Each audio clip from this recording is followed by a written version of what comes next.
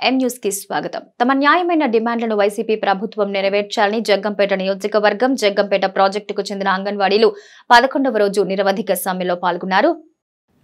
తమ ఆందోళనలో భాగంగా జగ్గంపేటలో అంగన్వాడీలు పెద్ద ఎత్తున రాస్తారోకో నిర్వహించారు. ఈ సందర్భంగా జగ్గంపేట అంగన్వాడీ ప్రాజెక్టు కార్యదర్శి సుజాత మాట్లాడుతూ ప్రభుత్వం అంగన్వాడీలకు కనీస వేతనం ఇరవై ఆరు వేలు ఇవ్వాలని అలాగే తమ న్యాయమైన డిమాండ్లన్నీ వైసీపీ ప్రభుత్వం నెరవేర్చాలని అప్పటి వరకు తమ ఆందోళన విరమించేది లేదని హెచ్చరించారు. ఈ కార్యక్రమంలో అంగన్వాడీ అధ్యక్షురాలు రత్నం కోశాధికారి రాజేశ్వరి సెక్టర్ లీడర్స్ రామలీల అనిత జగ్గంపేట గండేపల్లి మండలాల అంగన్వాడీ కార్యకర్తలు పాల్గొన్నారు. నష్టం ఏంటో అర్థం కావట్లేదు. అలాగే గవర్నమెంట్ గ్రాడ్యుయేట్ని అమలు చేసింది. అది ఎక్కడి నుంచి? సుప్రీంకోర్టు నుంచి వచ్చింది. సుప్రీంకోర్టు నుంచి వచ్చినప్పుడు ప్రకరాక్షాలకు అమలు చేసిన గుజరాత్ మహారాష్ట్ర హర్యానాకి ఇచ్చినప్పుడు ఇక్కడ ఎందుకు జరగట్లేదు? ఈ రాష్ట్ర ప్రభుత్వానికి తెలియట్లేదా? అలాగంటే మళ్ళీ కొత్తగా బొత్స సత్యనారాయణ గారు ఏమంటున్నారు? ఓన్లీ గుజరాత్లోనే ఇచ్చింది అంటున్నారు ఒక రాష్ట్రాన్ని చూపిస్తున్నారు కానీ ఇంత వేల మందికి మీడియా ఏమి దొంగ దొంగ పనులు చేయదు కదా.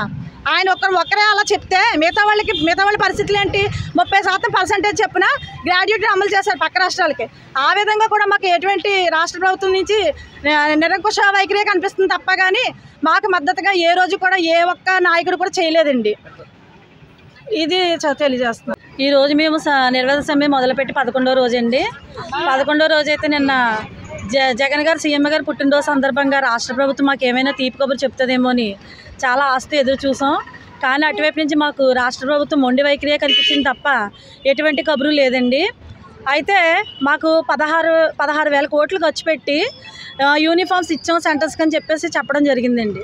కానీ మాకున్న యూనిఫామ్స్ కూడా ఏ ఎటువంటి మేలు రకమైన యూనిఫామ్ యూనిఫామ్స్ కాదు నువ్వు పక్కన మాట్లాడు అలాగే యాప్స్ అని యాప్స్ అని చెప్పేసి మొబైల్స్ ఇచ్చారండి మా చేతులకి. ఆ యాప్స్లో మేము లే- అనకూడదు కానీ మానసిక ఆందోళనకి ఎక్కువ గురయ్యి ప్రతి వరకు కూడా మాకు ఆన్లైన్ నెట్ పనిచేయకపోయినా పక్క నుంచి నెట్ తెచ్చుకోవడమో లేకపోతే సొంత ఫోన్లు ఉపయోగించుకోవడమో చేస్తున్నాం కానీ ఆ ఇచ్చిన ఆఫీస్ మొబైల్స్ అయితే మట్టుకి వాళ్ళు ఇచ్చిన యాప్సే పనిచేస్తున్నాయి అదైనా నెట్ ఉన్న ఉన్నంత సమయమే పనిచేస్తుందండి. వాటితోటి కొంచెం యాక్టివ్గా ఉన్న పర్సన్స్ అయితే వర్క్ పూర్తి చేస్తున్నారు. అదే కొంచెం ఒక యాభై సంవత్సరాలు అలాంటి వాళ్ళు కూడా ఉన్నారు ఈ ఉద్యోగంలోని.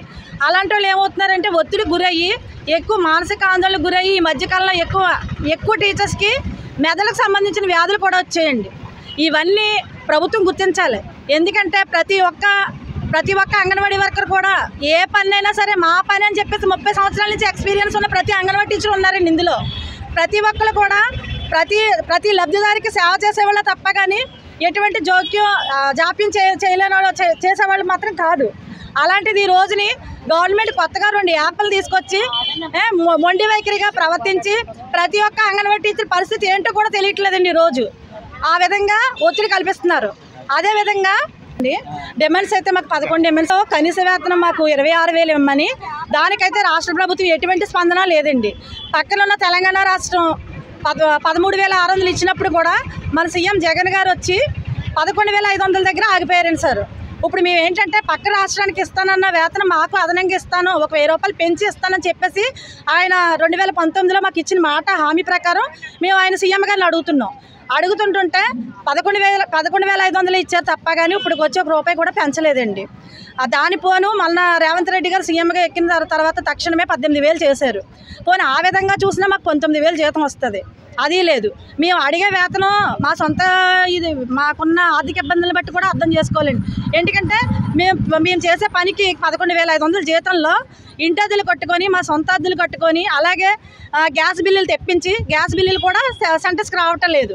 అలాగే పిల్లలకి వండి పెట్టే ఆహార పోపులకి కూరగాయలకి కూడా డబ్బులు వేయట్లేదండి ఈ పదకొండు వేల ఐదు వందలనే ఒక అంగన్వాడీ టీచరు ఇంటికి పట్టుకెళ్ళేది ఒక నాలుగు వేలో మూడు వేలో ఉంటుంది నెలకొచ్చి. అంతే తప్ప కానీ కడుపు నిండా తినే రోజు ఒక అంగన్వాడీ వర్కర్ తింటుందా లేదా అనే పరిస్థితి ఏ రాష్ట్ర ప్రభుత్వానికి గుర్తించట్లేదు. ప్రతి ఒక్క ఆందోళనతో ప్రతి ఒక్క వ్యక్తి కూడా ఇక్కడ అంగన్వాడీ వర్కర్లు పనిచేస్తున్నారంటే అది మా గళం ఆయన కనబడాలని చెప్పేసి ఇక్కడ నోర్లు విప్పుతున్నామండి. కానీ రాష్ట్ర ప్రభుత్వం నుంచి ఎటువంటి స్పందన లేదు. దానికి పోను ఇప్పుడేమోనేమో ఎవరో బొత్స సత్యనారాయణ గారు మేము తాళాల్లో పగలగొట్టించమని లేదు అంగన్వాడీల మీద మేము ఎటువంటి మొండి వైఖరిని మేము ప్రదర్శించలేదని అడుగుతున్నారు. మరి అలాంటప్పుడు మా అంగన్వాడీ తాళాలని పదలు కొట్టవలసిన అవసరం ఏంటి? మేము ప్రభుత్వ ఉద్యోగులని ప్రతి విషయానికి మాట్లాడుతున్నారు. మా సంక్షేమ పథకాలు వచ్చేసరికి మరిన్ని తాజా వార్త విశేషాల కోసం ఎం న్యూస్ని సబ్స్క్రైబ్ చేయండి. మీ మిత్రులకు షేర్ చేయండి.